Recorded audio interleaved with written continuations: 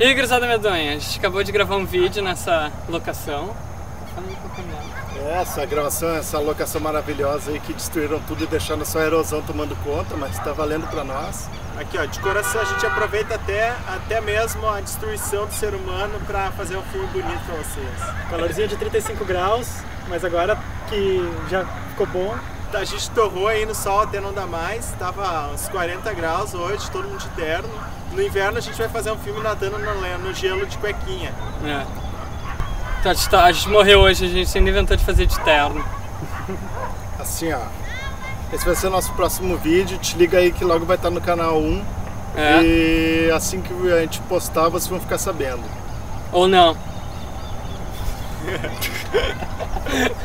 Até a próxima, gurizada. Falou. Valeu aí. Valeu aí.